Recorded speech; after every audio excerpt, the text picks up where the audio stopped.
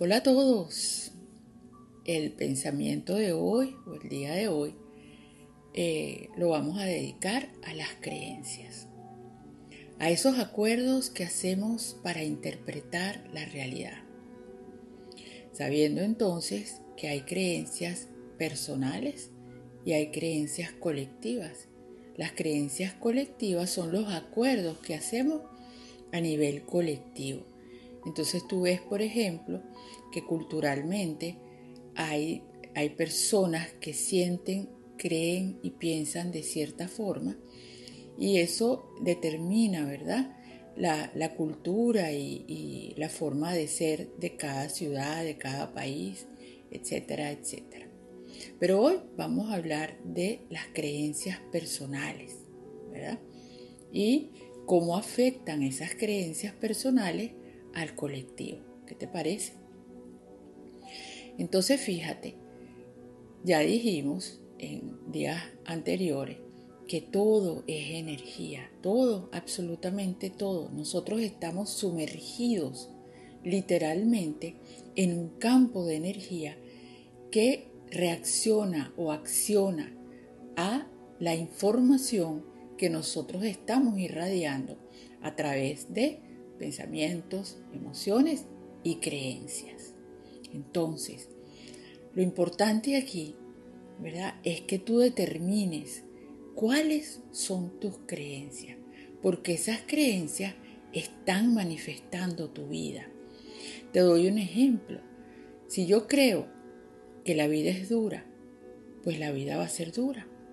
Si yo creo que, por ejemplo, una creencia popular, los hombres no sirven para nada, pues esas van a ser las parejas que yo voy a atraer a mi vida.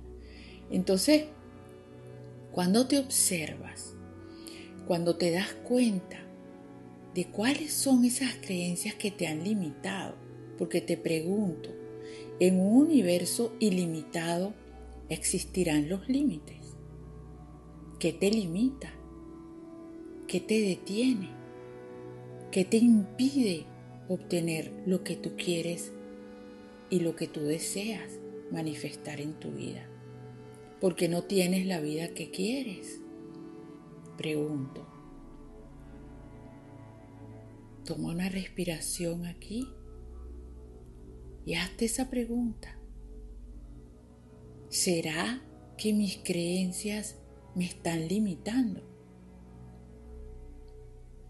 ¿Será que yo tengo que cambiar esa forma de pensar y de sentir que tengo hace tanto tiempo. Entonces aquí quiero aclararte algo o darte una información extra y es la siguiente. Para que nosotros pensemos, sintamos y creamos o creemos de cierta forma, ¿verdad? Se necesita siempre de una vía neurológica que sostenga y haga posible que esto sea así. Porque acuérdate, tu cerebro simplemente está recibiendo de ti la información que tú obtienes del medio que te rodea. Así funciona. Entonces cada pensamiento, cada emoción y cada creencia tiene una vía neurológica. ¿Qué te parece? ¿Y cómo se forma esa vía neurológica? De tantas veces que tú visitas esa creencia, de tantas veces que tú has instaurado o, haciendo presente, ¿verdad? Ese tipo de pensamiento, esas emociones y esas creencias. Entonces, muchas técnicas sostienen, ¿verdad? O te dicen que yo te cambio esa creencia. Eso no puede hacerse, eso, eso, eso es tu trabajo. Una técnica puede liberar la emoción, perdón, la energía, ¿verdad?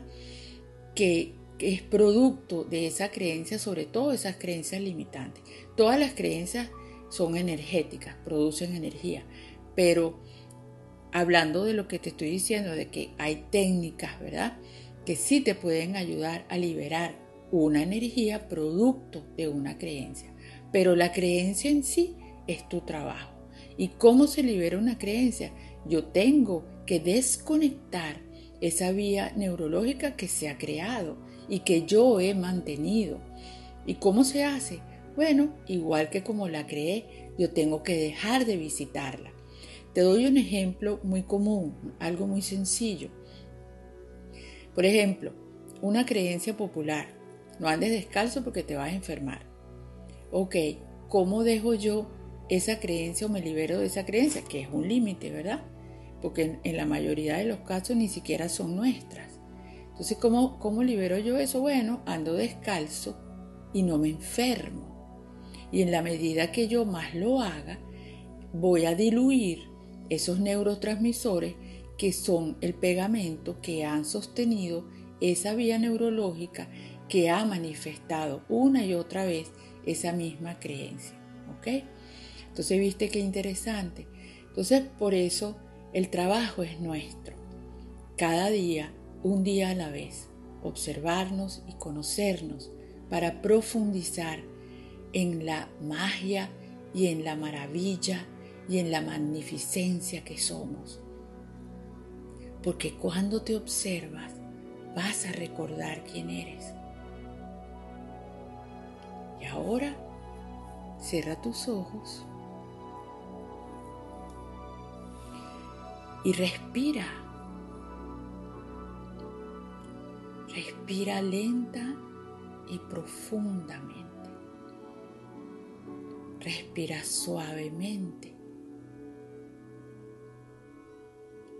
Como si fuese vida la que estás respirando. Como si fuesen oportunidades lo que estás inhalando. Como si fuesen posibilidades el espacio en el que estás sumergido o sumergida ahora. Respira como si lo hicieras desde tu corazón. Recuerda que donde pones tu atención pones tu energía y allí está tu conciencia. Entra en ese espacio que ya es conocido por ti es la conexión a la inmensidad, al vacío, a la nada, a la totalidad. Desde allí se crean las galaxias y el universo entero.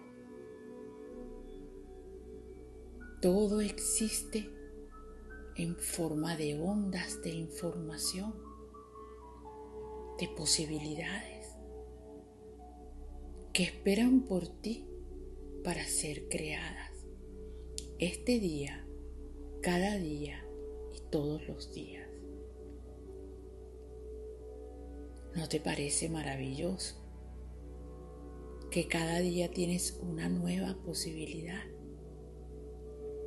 ¿Por qué no la abrazas? Y la traes a tu corazón a ese espacio y la potencias con la energía de tu corazón y la sientes e irradia eso que estás sintiendo.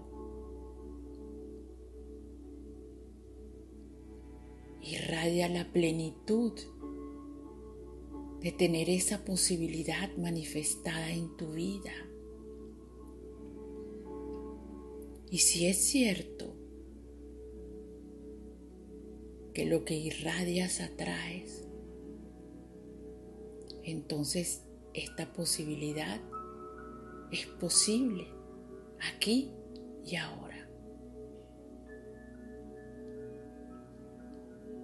Siente tu grandeza, siente tu esencia. Y desde tu esencia Crea tu día y todos los días.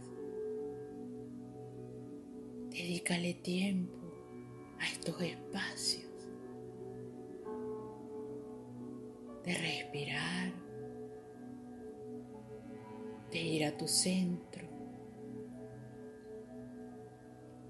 tomar conciencia la importancia de estar centrado, centrada y equilibrada, en armonía.